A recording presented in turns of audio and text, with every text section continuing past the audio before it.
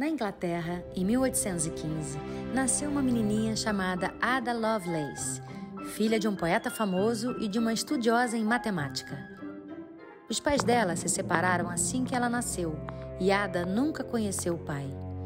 Desde pequena, sua mãe a incentivava a estudar e queria muito que ela soubesse da sua paixão, a matemática. Ada também se apaixonou pelos números. Com 12 anos, ela quis voar, sair do chão voou com a ciência e construiu suas próprias asas com papel, fios e penas. Um dia, a sua mentora levou Ada para ver uma coisa maravilhosa: uma máquina de cálculo. Um mundo novo se abriu na cabeça de Ada.